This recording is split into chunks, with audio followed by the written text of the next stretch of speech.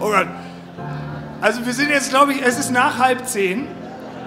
Wir können solche Witze machen, auch weil sie einfach ein bisschen lustig sind. Das ist ganz kurz und knackig, aber ein bisschen hart. Die beste jemals getestete Matratze ging mit mir zur Schule.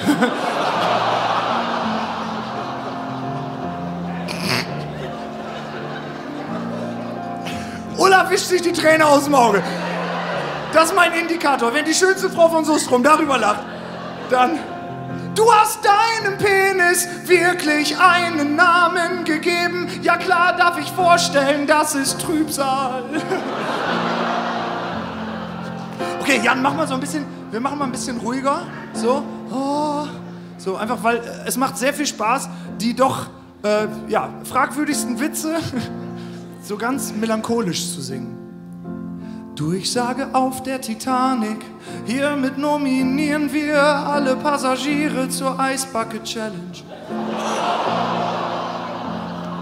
Leute, ist tausend Jahre her.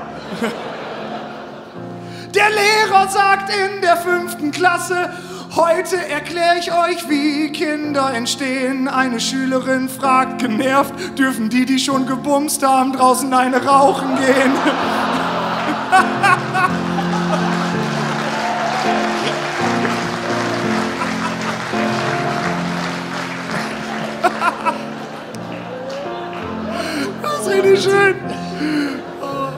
Das passiert aber nicht hier an der Schule, sondern am Marianum ist das eher, ne? Ja. Yes! Ich kann's noch!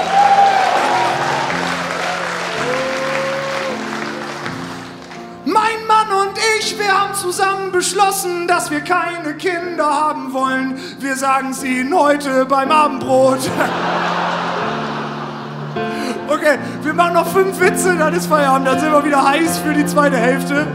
Ho, Den finde ich, ey, das ist wirklich einer meiner Lieblingswitze, der jetzt kommt hier.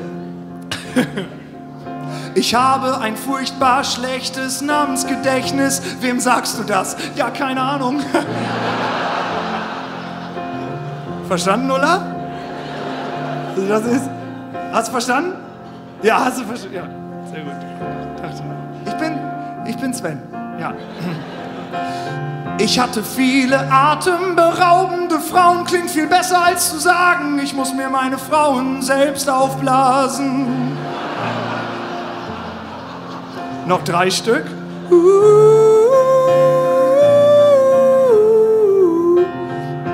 Nee, das machen wir nicht. Nein, ist zu billig. Das war, was machen 30 Pimmel im Bus eine Spritztour? Das geht nicht. Mich tatsächlich letztens so eine leicht bekleidete Frau am Bahnhof angesprochen. Sie meinte, für 30 Euro macht sie alles, was ich will. Jetzt rate mal, wer heute bei mir das Laminat verlegt. Noch zwei Stück. Wow, wow, wow. Herr Doktor, können Sie mir helfen? Ich verschreibe Ihnen erstmal ein paar Moorbäder und die helfen auch. Der Arzt sagt, nein, aber Sie gewöhnen sich dann schon mal an die feuchte Erde. Böse, sehr böse. So können wir nicht aufhören.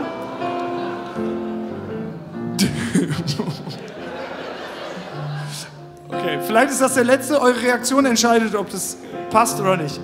Kommt ein Mann vom Urologen nach Hause, seine Frau fragt, und wie war's? Der Mann sagt, gut, aber ich soll noch eine Urinkot- und Spermaprobe beim nächsten Mal abgeben. Sie sagt, na dann schick doch deine grüne Korthose.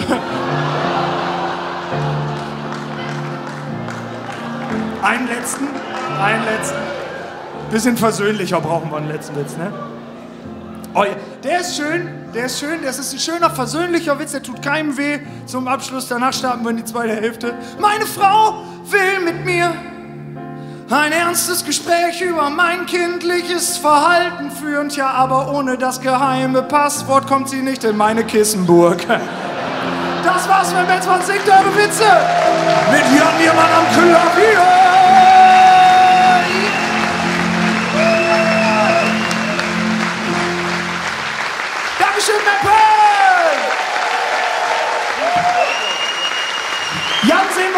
Wieder. So, jetzt sind wir alle heiß, jetzt sind wir wieder da. Ah, tolle Witze sind da drin in der Tüte. So, da ist auch mein Lieblingswitz drin, der ist gerade nicht gekommen. Das ist, ich wollte mein Leben lang Skispringer werden, aber ich hatte nie eine Chance. Mm.